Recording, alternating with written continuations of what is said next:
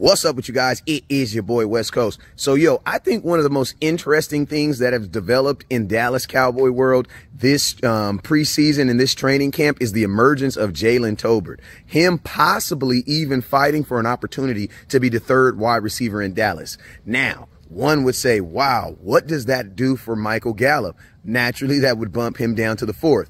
Now, I'm going to ask you guys a question. We've seen Jalen Tolbert We've seen the things that he's done. Do you think the Dallas Cowboys would move Jalen Tolbert to the number three receiver and put $11 million Michael Gallup at the fourth?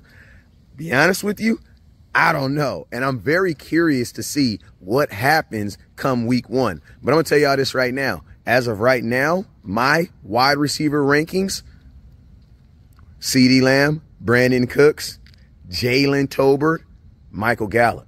That's where I stand. I want to know. Put it in the comment box right now. What are your thoughts and who are your top three receivers on this team right now?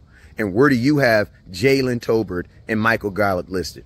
Hey, you guys already know what it is? Put it in the comment box. Never look down because stars up. Peace. Hey, I want to let you guys know this video and all videos are sponsored by my people over at CEV, my family over at 915 Tours, and my guy over there at Black Royalties. I appreciate you guys. You already know what it is. Never look down because stars up. Peace.